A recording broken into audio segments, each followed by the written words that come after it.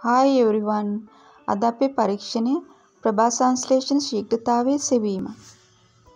මේ තිබෙන්නේ අවුඩස් ප්‍රභා සංශ්ලේෂක උපකරණය. ඇටවුම සකස් කර ගැනීම. කැකෑරුම් නළයට වතුර භාගයක් විතර පුරවලා ඉන්පස්සේ සෝඩියම් බයිකාබනේට් ද්‍රාවණයක් එකතු කරනවා ජලයේ කාබන් ඩයොක්සයිඩ් සාන්ද්‍රණය වැඩි කරන්න.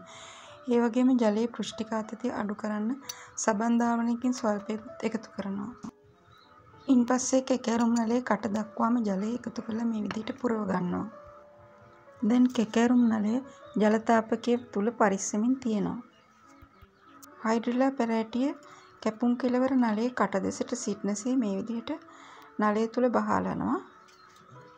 උෂ්ණත්ව වෙනස් වීම බලා ගන්න උෂ්ණත්වමානයත් නළය තුල මේ විදිහට නළය තුලට ඇතුල් කරනවා.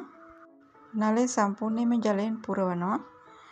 උෂ්ණත්වය නියතව තබා ගැනීමට අවශ්‍යයි. ඒකයි අපි ශාකය සහිත නළය ජල තාපකය තුල තබන්නේ. දැන් හයිඩ්‍රලා පැලෑටියේ කැපුම් කෙළවර මයික්‍රෝ බිවුරෙට්ටුවේ විවෘත කෙළවලට මේ විදිහට පරිස්සමින් ඇතුළු කරනවා. දැන් සිරින්ජයක් පසුපසට ඇදීමෙන් මයික්‍රෝ බිවුරෙට්ටුව සම්පූර්ණයෙන්ම ජලයෙන් පුරව ගන්න ඕනේ වායු බුබුළු රහිත වන විදිහට.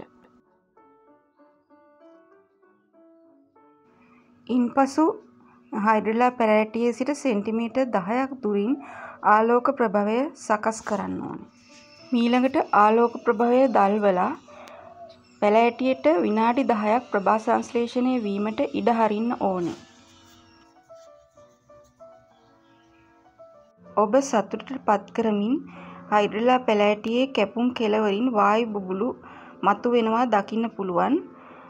ඊට පස්සේ වායු බුබුළු ක්‍රමයෙන් මයික්‍රෝ බියුරෙට්ටුව දිගේ ඉහළට නැගලා නැමි කෙළවරේ එක්කහු වෙනවා.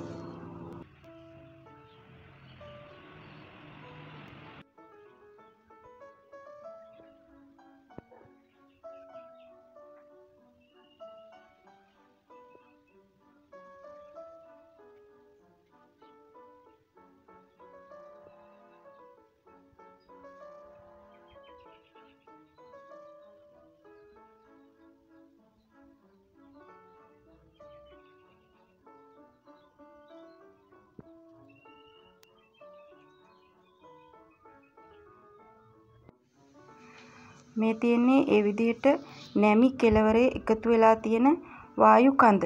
වායු බුබුළු සියල්ලම එකතු වෙලා එක වායු කඳක් බවට පත් වෙලා තියෙනවා.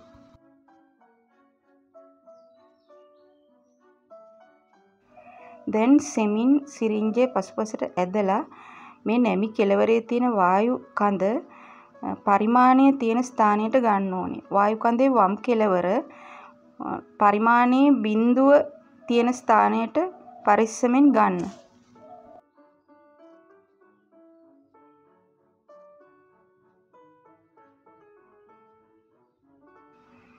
දැන් මීටර් රූල අරගෙන වායු කඳේ දිග මැන ගන්න. මෙහිදී ඒ අගය මිලිමීටර් 14ක් ලෙස මැන ගන්න පුළුවන්.